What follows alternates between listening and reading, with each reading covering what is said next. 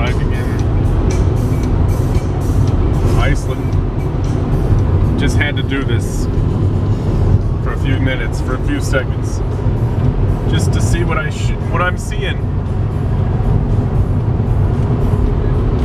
It's pretty amazing.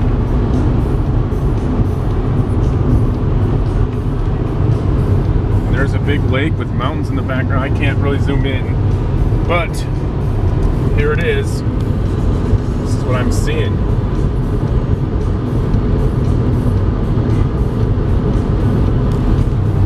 Wow. Okay, that doesn't work. I'm adding too foggy. But here's landscape in Iceland.